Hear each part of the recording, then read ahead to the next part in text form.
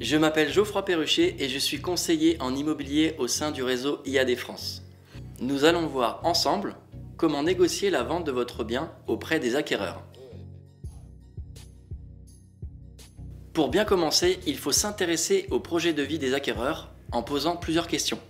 Cela permet de mieux comprendre leurs attentes et de susciter l'intérêt de la visite.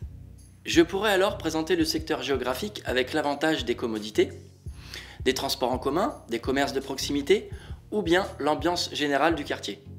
Toujours dans l'optique de préparer au mieux la négociation, je pourrais mettre en avant l'entretien du bien, avec éventuellement les travaux réalisés. Je pourrais alors justifier le prix du bien sur le marché actuel. Une fois la visite décrochée, je serai attentif et à l'écoute des remarques positives des acquéreurs. Je pourrais alors rebondir dessus et m'appuyer sur ces arguments pour mener à bien la négociation.